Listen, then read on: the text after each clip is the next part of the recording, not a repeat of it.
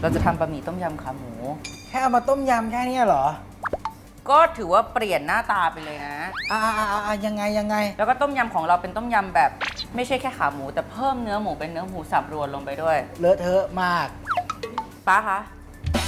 ก็คือเพิ่มเพิ่มเพิ่ม เพิ่มโปรตีน เพิ่มโปรตีน เราจะต้องรวนหมูสับของเราก่อน เวลารวนหมูสับเนี่ยหลายคนก็จะเอาหมูไปรวนกับน้ำเลย อืม แต่ว่าอันนี้เป็นเคล็ดลับส่วนตัวคือเราใส่กระเทียมสับลงไปหน่อยนึง ลงไปในหมูสับ หลายครั้งได้หมูมาหมูกลิ่น ไม่ค่อยน่าอภิรมย์กระเทียมก็จะช่วยทำให้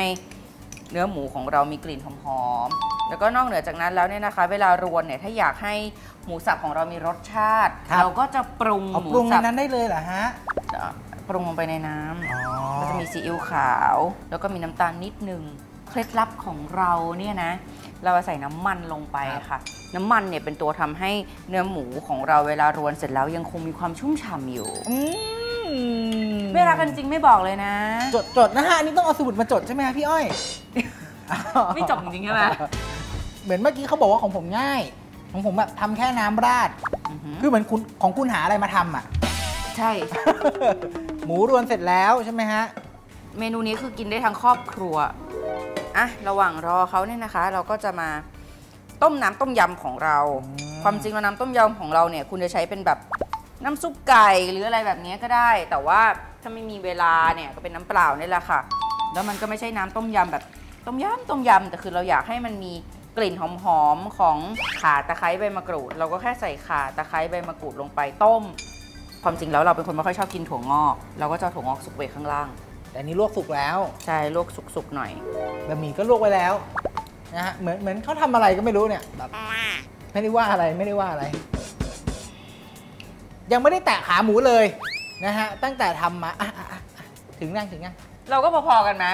โอ้โหดูสินี่ดูดิมันมันสองมาตรฐานจริง ๆ ของเขาดูแบบนุ่มเปื่อยมากเลยอะ โอ้โหมันขนาดขาก็นี้ใหญ่เลยกว่า นะเนี่ย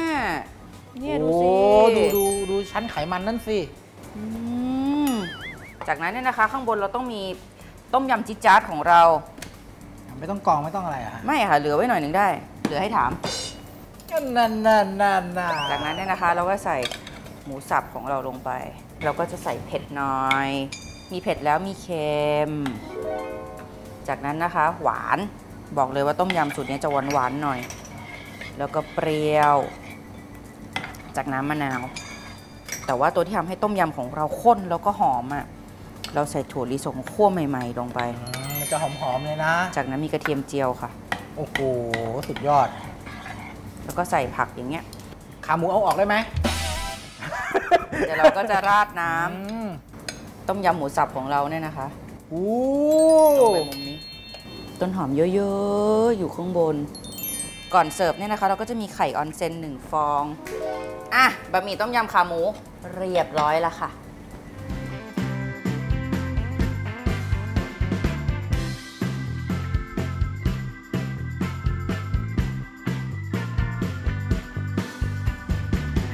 พบกับพวกเราได้ใหม่นะครับ ทุกวันศุกร์เวลาบ่าย3ามโมงครึ่งทางช่อง Workpoint หมายเลข 23 ครับ วันนี้นานาเท็ดดี้ขอตัวลาไปก่อน สวัสดีค่ะ สวัสดีครับ